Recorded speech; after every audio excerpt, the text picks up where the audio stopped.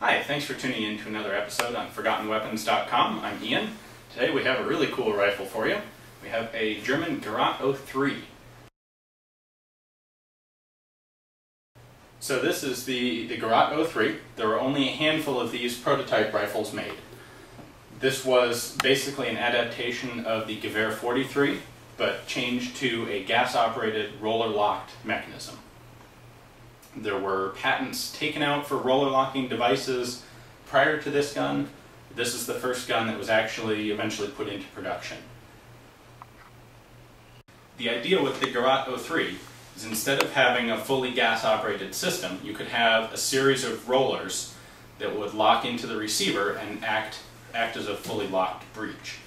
There was really quite a lot of mathematics that went into designing this type of action. Uh, this was actually largely designed by a mathematician by the name of Dr. Carl Mayer, not a gunsmith. Um, the system took a fair amount of development. The Gerat 03 was intended to be a replacement for the Gewehr 43. One of the reasons this didn't go very far uh, with German production was that the Gerat 03 was an 8mm Mauser full power rifle cartridge, which puts a lot more restraints on the system, requires a lot more high grade steel to use and is generally trickier to work with uh, than the later developments in the 8mm Kurz cartridge. Ultimately, Germany had quite a few different uh, small arms research projects going on simultaneously, and a lot of the development of this rifle ended up being used in smaller guns in 7.92 by 33 Kurz. So as I mentioned, this is a gas-operated rifle, which uses rollers for locking. So we can take a look at the gas system here.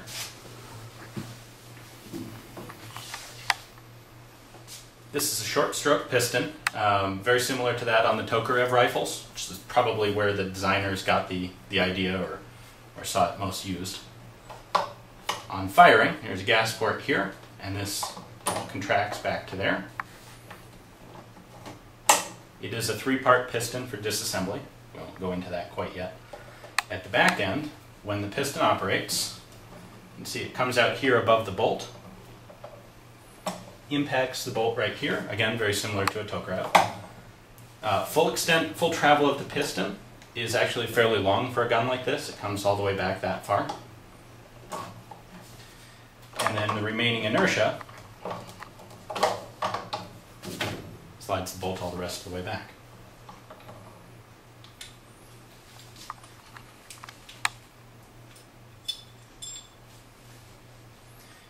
Inside the bolt, we have the bolt body itself, and then the, uh, the firing pin, which also acts, this has the, the cutouts that force the rollers open and have the, the calculated angles so that the gun unlocks and cycles with the proper timing.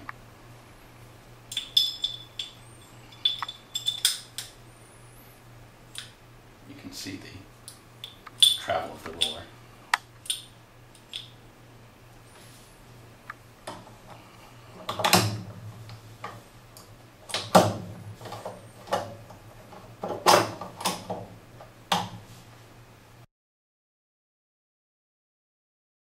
So we have a few components here from a later style of, of roller locked gun. They're a little different, but they'll let us show you the, the basic functional idea of how this gun would work. This is the trunnion. As you can see, this is a pretty simple piece to manufacture, in particular because this cutout right here acts as the locking recesses for the rollers. That's extremely quick and easy to get in and machine using just an end mill. Uh, a lot of, of other contemporary designs had much more complex uh, locking recesses that had to be milled out. Well, this, quick and easy. So the primary, the, the three main components of this system are the trunnion, bolt, and the camming surface, which also has the firing pin built into it. And the way this would work, the camming piece goes into the bolt, and when this pushes forward, the two angles on it here, angled surfaces, force the rollers out and into the locking recesses. Just like that. On, on the later on the later roller, entirely roller delayed systems, uh, you would simply use force of recoil to pull the, the whole assembly back. On the Gerat 03, since it is a gas-operated gun, the gas piston acts on a bolt carrier back here, which first pulls the camming piece back and allows the rollers to recess into the bolt. And it operates just like that.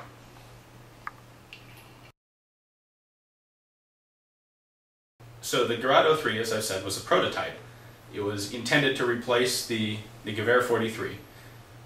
In production, this rifle would have been made out of a lot of sheet metal stampings to reduce costs and, and make production as efficient as possible. However, for the prototypes, like this one, they actually made this out of an entire machined chunk of metal. If you look at it from the bottom, it looks like it ought to be stamped sheet, and in fact it would have been, but you can see the tool marks on here that this was in fact milled from a large block of steel. They actually milled it to replicate a sheet metal stamped gun. The, the Gerat 03, as you may have deduced, is uh, is German for device, so this you know Type 3, Device 3, Model X3.